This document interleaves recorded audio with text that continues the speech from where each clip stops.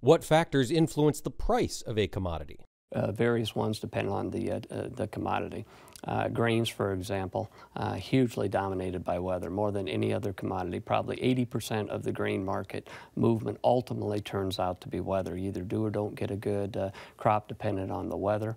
Um, you know, so that's, that's from that standpoint. From the livestock standpoint, is probably a profitability. Uh, you know, would be at the dominant one, and then also the consumption. Do do we uh, lose the consumer if prices up to, move up too high? If we go down too low, uh, do they consume too much? There can be policy issues. Um, regulation and policy is a big factor, I think, in price discovery these days. Uh, geopolitical tensions come into play. The global marketplace, from the standpoint of what crazy person in the world is behaving even crazier.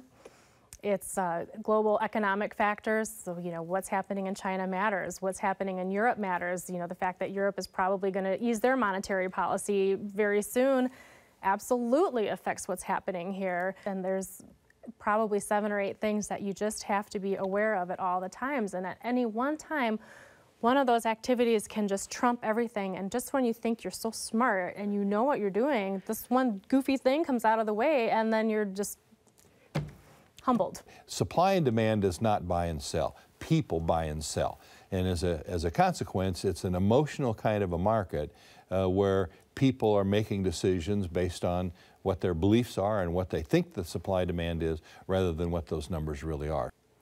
Well, definitely it's the demand side. You know, if you, if you have great demand, even if you've got a good supply and you have super good demand running tandem, then all of a sudden you can't afford to have any, any glitches.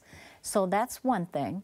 Um, also, I would say, um, you know, psychology, just the, the trade psychology. Uh, it's numerous. I mean, it, there's no way to pinpoint any one thing. That's why that's why I believe in chaos theory. You never know what that one factor is going to be, and, and usually the factor is something we don't even know.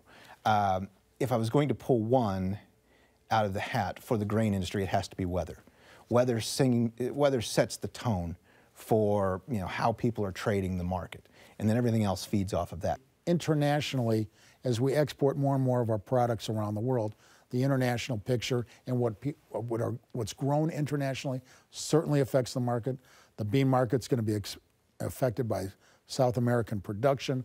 The wheat market's going to be affected by European wheat growth, um, Russian wheat, Argentinian, Australian. So wheat's probably more of a world market than any of them. I don't know. I, I still tend to look at the fundamentals of the market and, and supply demand and, and, and uh, talk to farmers and you know, that's, again, I go back to it again, again, talking to the people with their money on the line is really, uh, really important, I think.